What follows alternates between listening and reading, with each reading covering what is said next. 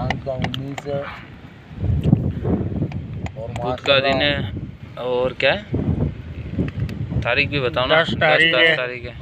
हाँ। यू चाँद का बीस तारीख है। और ये दाने देखो बाबा। ये। फ्रेंच पीस है। जिधर पानी नहीं है उधर मच्छी है।